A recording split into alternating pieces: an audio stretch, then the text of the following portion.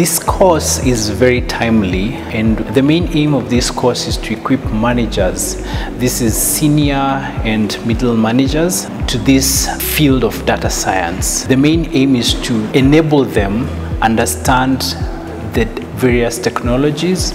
There are various um, buzzwords that have been going around, for instance, big data, Internet of Things, things like semantics. You know, you ask yourself, how do all these things interconnect?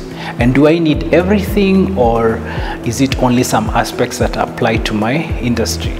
So what this course does is we customize it for the learners. So anyone who enrolls in this course will try our best and ensure that the content or rather the engagement is very focused to their industry. One of the most important things is that these facilitators come from industry. They are the tech leaders out there.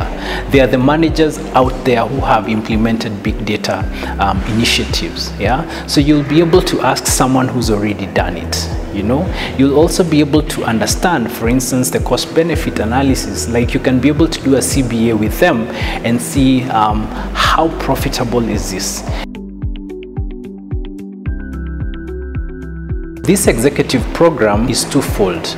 We can customize it for a particular company, especially if you realize that uh, most of your managers are not aware about data um, science and it is important for you or rather it's one of your targets for 2020.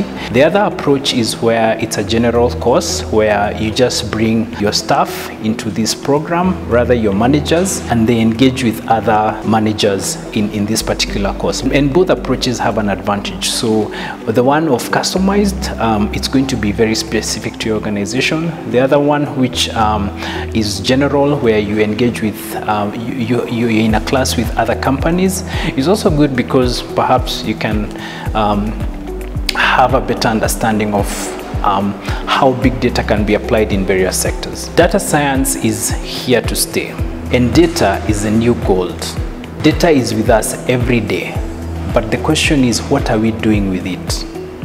Out of this course, you'll be able to ask yourself where you're having data leaks and how you can tap into the data.